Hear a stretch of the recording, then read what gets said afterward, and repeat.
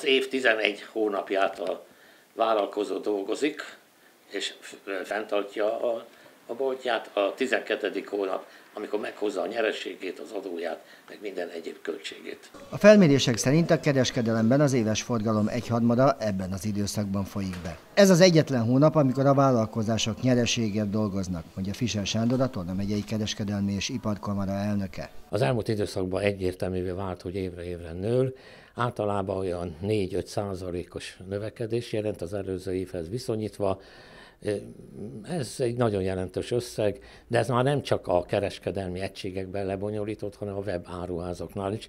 A webforgalom meredeken emelkedik évről évre. Idén is várhatóan az elmúlt évhez képest negyedével emelkedik majd a forgalom. Egy olyan 500 milliárd forintot jelent körülbelül. A webáruházi vásárlásnak megvannak a veszélyei, mondja Fischer Sándor. Megszámlálhatatlan esetben a kereskedelmi egység egyik percről a másikra eltűnik, és a sok esetben silányáruval már a vevő nem tudja a garanciáját érvényesíteni.